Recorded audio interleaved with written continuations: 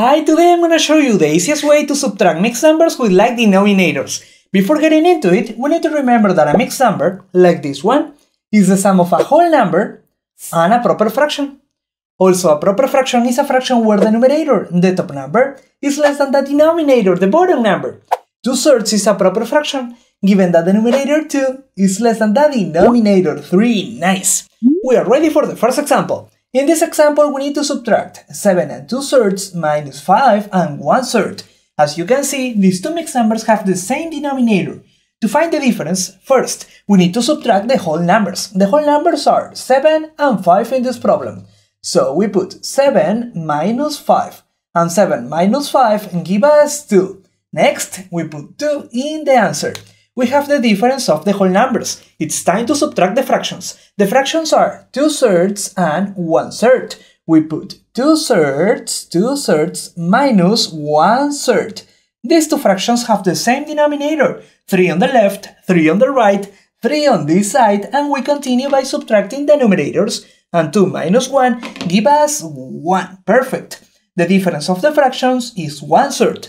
Finally, we add the difference of the fractions to the difference of the whole numbers. We put 1 third next to 2 wholes. In that way, 7 and 2 thirds minus 5 and 1 third give us 2 and 1 third. Let's move on to another example. In this example, we need to subtract 9 and 7 eighths minus 4 and 1 eighth. These two mixed numbers have the same denominator, 8 and 8. To find the difference, first, we need to subtract the whole numbers. The whole numbers are 9 and 4. Come over here, 9 minus 4 give us 5. Next, we can put 5 in the answer. We have the difference of the whole numbers. It's time to subtract the fractions. The fractions are 7 eighths and also 1 eighth. So we put 7 eighths minus 1 eighth.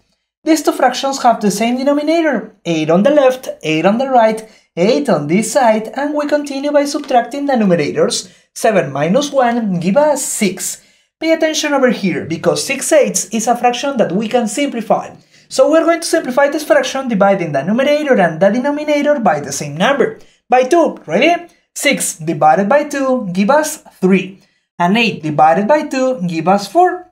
3 fourths is a fraction in its simplest form, and we cannot simplify it anymore. So finally, we add 3 fourths to the difference of the whole numbers. That is correct, we add the difference of the fractions to the difference of the whole numbers. In that way, 9 and 7 eighths minus 4 and 1 eighth give us 5 and 3 fourths. That's all for today. If you want to learn more about mixed numbers, check out this playlist. Have a good one and see you next lesson. Bye!